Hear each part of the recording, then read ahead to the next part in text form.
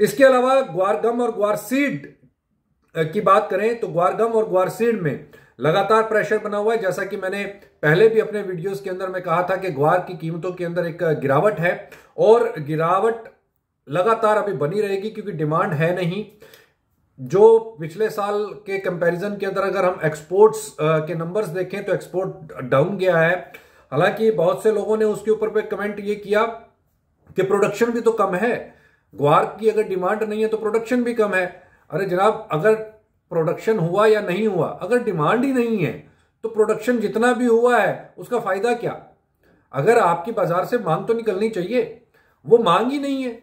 International जो आपका बाज़ार खड़ा हुआ था, वो लगातार स्लिप हो रहा है। और अब जो नई इनोवेशन और न्यू टेक्नोलॉजीज़ आ रही हैं, अब उस टेक्नोलॉजीज़ को देखते हुए जो आपका एनर्जी सेगमेंट जो शिफ्ट होते जा रहा है उसके अंदर में क्या ग्वारगम की यूटिलाइजेशन बढ़ेगी या नहीं बढ़ेगी?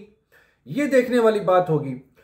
ग्वार गम ग्वार सीड का जो प्रोडक्शन है, वो डिपेंड करेगा ना कि आपके पास में डिमांड आ रही है बाज़ार से या नहीं आ रही। खरीदारी नहीं है तो फिर चाहे वो एक बोरी का क्विंटल हो, चाहे सौ बोरी क्विंटल हो या एक करोड़ बोरी का प्रोडक्शन हो, उससे क्या फ़र्क पड़ेगा? जब बायर ही नहीं है, आपके पास एक भी बायर नहीं खड़ा हुआ। तो ये चीज़ मायने करेगी। इस समय पर फ़िलहाल ग्वारगम इंडस्ट्री दबाव के अंदर हम देख रहे हैं और अभी जो ग्वारगम के प्राइसेस हैं, जो कि नौ हज़ार नौ सौ रुपए के आसपास कारोबार करते हुए दिखाई दे रहे हैं, ये नौ हज़ार रुपए का स्तर टूट जाएगा। इसमें कहीं कोई दोराय दिखाई नहीं देती क्योंकि डिमांड नहीं है। उस वहीं पर ग्वारसीड की अगर हम बात करते हैं तो मैं उसी पुराने अपने जो हमने लेवल्स बताए थे कि पाँच हज़ार रुपए का स्तर इसमें टूटेगा। ये पाँच हज़ार रुपए के नीचे के कारोबार होते हुए हम ग्वारसीड के अंदर देखेंगे। ग्वार गम के अंदर में और ग्वारसीड के अंदर में अभी फ़िलहाल बिकवाली का दबाव है और जिनके पास में स्टॉक था, हमने पिछले भी कई वीडियोस के अंदर में बताया, जब छप्पन सौ रुपए के आसपास भाव चल रहे थे और सत्तावन सौ रुपए के आसपास भाव चल रहे थे तो अब हमने मार्केट टाइम्स टीवी ने अपनी रिसर्च के मुताबिक ये बताया था कि लिक्विडेट कर देना चाहिए, माल को धीरे धीरे निकाल देना चाहिए। नीचे के जब स्तर आए, तब फिर आप उसके अंदर में बाइंग कर सकते थे। लेकिन अब जिनके पास भी माल हाथ में रह गया है, पचपन सौ रुपये या पचपन सौ रुपये के ऊपर का तो वो निश्चित तौर के ऊपर पे यहाँ पर नुकसान है उनको।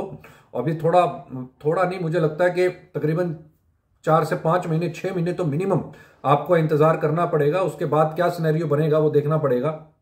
लेकिन अभी फ़िलहाल ग्वारगम और ग्वारसीट, इसमें दबाव हम बनते हुए देख रहे हैं, गिरावट जारी है और ये अभी दबाव बना रहेगा। प्रोडक्शंस के जो फिगर है या एक्सपोर्ट्स के जो फिगर है एक्सपोर्ट जैसे हमने अपने पिछले वीडियो के अंदर भी आपको बताया था कि एक्सपोर्ट करीब करीब नवंबर महीने का भी अगर मैं कंपैरिजन करता हूँ और दिसंबर महीने का अगर मैं कंपैरिजन करता हूँ तो दोनों ही महीनों के अंदर में 35 फ़ीसद से लेकर के 40 फ़ीसद जी हाँ नवंबर में उनचालीस फ़ीसद की गिरावट हमने एक्सपोर्ट डिमांड के अंदर में देखी है और दिसंबर महीने के अंदर में पैंतीस फ़ीसद की हमने डिमांड के अंदर में गिरावट देखी है।